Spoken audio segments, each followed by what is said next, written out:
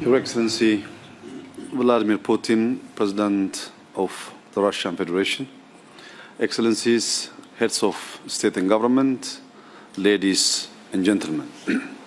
Let me begin by thanking President Putin for the invitation and the warm welcome extended to me and my delegation.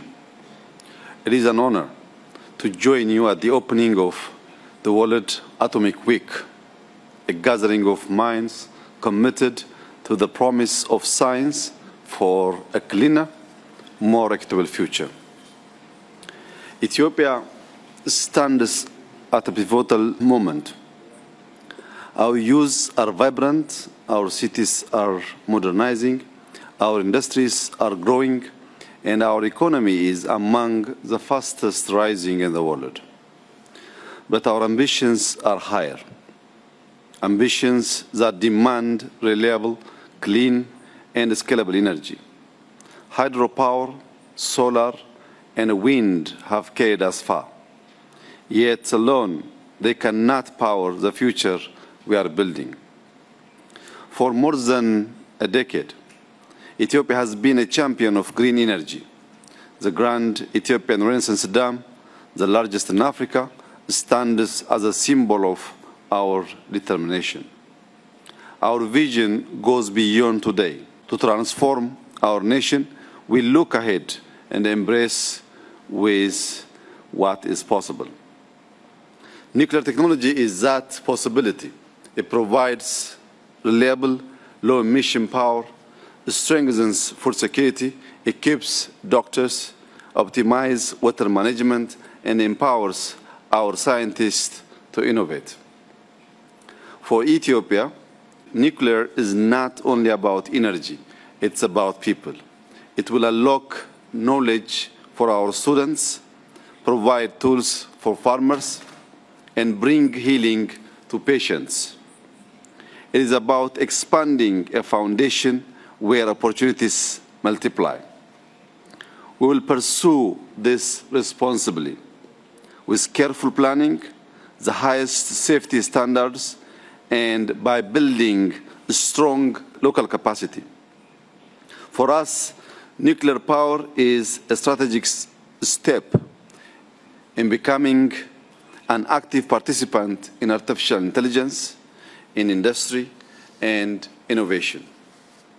Your Excellencies, ladies and gentlemen, in this context, I wish to recognize the Russian Federation which this year celebrates 80 years of its nuclear industry. Russia has shown the world what science can achieve when matched with vision. Ethiopia is ready to deepen partnership with Russia, combining their expertise with our skilled workforce and growing market to create a model of cooperation that powers our nation and inspires our continent. With more than 130 million people, we cannot afford to wait. Nuclear energy is essential to secure long-term development, diversify our energy mix, and realize Ethiopia's potential. Our goal is clear, a nuclear program that is safe, transparent, and exemplary.